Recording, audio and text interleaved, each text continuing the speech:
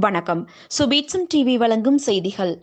மட்டக்களப்பு மாவட்டம் கழுதாவளை கடற்கரையில் உயிரிழந்த நிலையில் இராட்சத ஆமை ஒன்று புதன்கிழமை காலை கரை ஒதுங்கியுள்ளது.